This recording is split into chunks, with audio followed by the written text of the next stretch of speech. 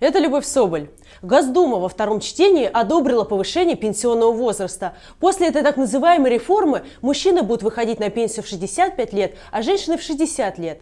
За повышение пенсионного возраста проголосовало 326 депутатов, и подавляющее большинство из них из «Единой России». Вот, например, депутат-единорос Андрей Исаев проголосовал «за», а вот в 2012 году Исаев говорил, что категорически не поддерживает повышение пенсионного возраста и что граждане могут быть спокойны. В 2014 году в своей статье он писал, что повышение пенсионного возраста – это несправедливо, ведь в России низкая продолжительность жизни, а условия труда тяжелые. Ну и мое любимое – это декабрь 2015 года, и депутат Исаев говорит, что нет нужды повышать пенсионный возраст.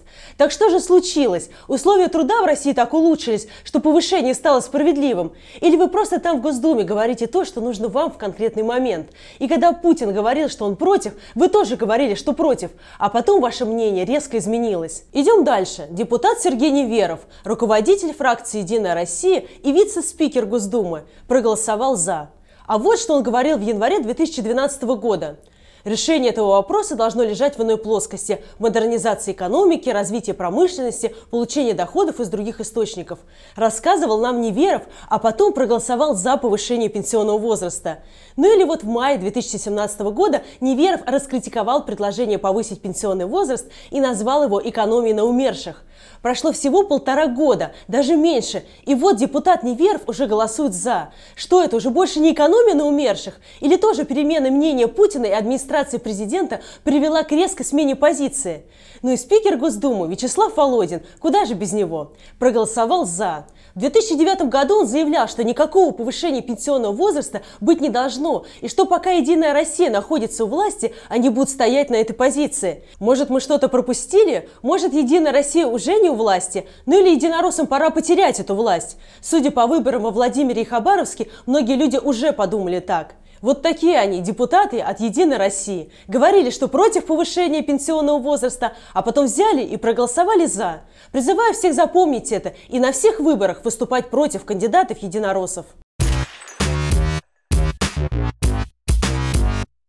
Москва два дня подряд стояла в девятибальных пробках. Во вторник вечером пробки достигали максимальных 10 баллов.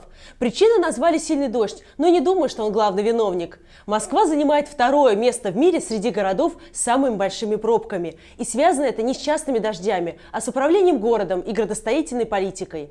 В рейтинге от аналитической компании Inrix Москва выше Нью-Йорка, Сан-Паула и Сан-Франциско. Опережает Москву только Лос-Анджелес. Москва выше и Лондона, и Парижа, и других европейских мегаполисов мегаполисов.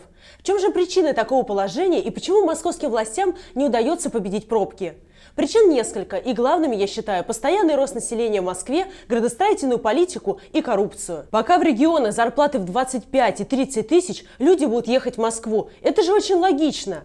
Новосибирск – это же не гласная столица Сибири, а в Новосибирской области средняя зарплата 33 850 рублей. Конечно, в такой ситуации люди будут ехать в Москву. Чтобы это изменить, надо развивать региональные столицы. Таких центров, как Москва, должно быть больше. Не один и не два, а десятки. Тот же Новосибирск. Нужно не отнимать деньги у регионов, а развивать их, чтобы по всей России были возможности для жизни и для самореализации людей. Тогда нагрузку на Москву снизится.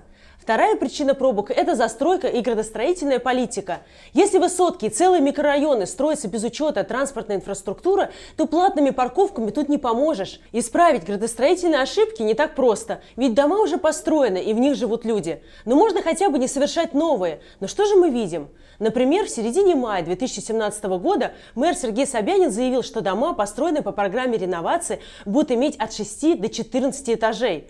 Но затем вице-мэр Москвы по строительству Марат Хуснулин заявил, что дома могут быть и выше 20 этажей.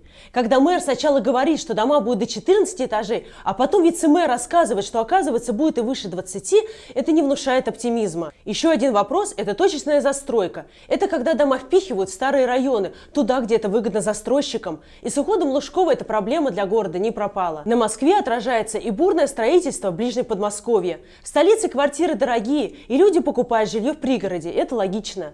Но вот ездить на работу они будут в Москву, и это будет снова увеличивать пробки.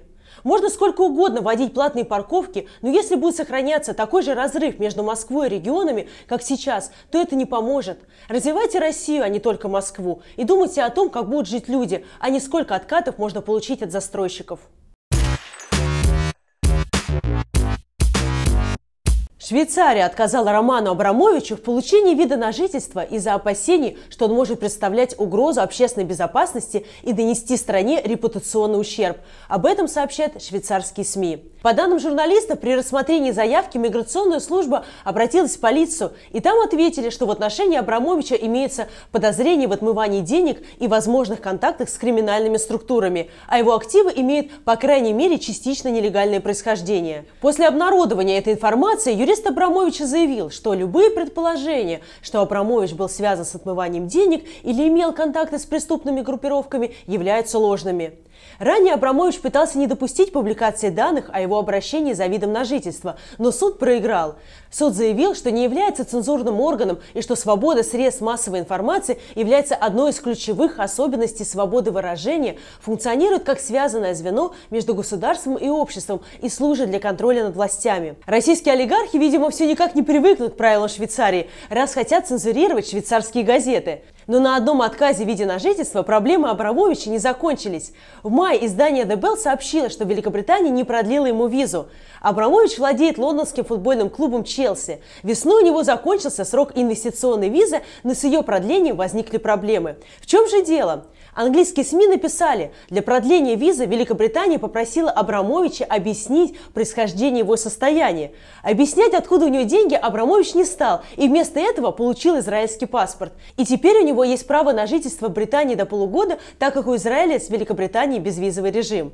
Отличная схема, а главное, не пришлось объяснять властям Британии, откуда деньги. В 90-х Абрамович был партнером Бориса Березовского, а затем судился с ним в лондонском суде. Лексикон британских СМИ обогатился такими понятиями, как «крыша», «кинуть» и «замочить». Боюсь, если бы Абрамович в реальности объяснял, как он нажил свои миллиарды, то понадобились бы не только такие слова. Так что для него, видимо, лучше уж так, через Израиль.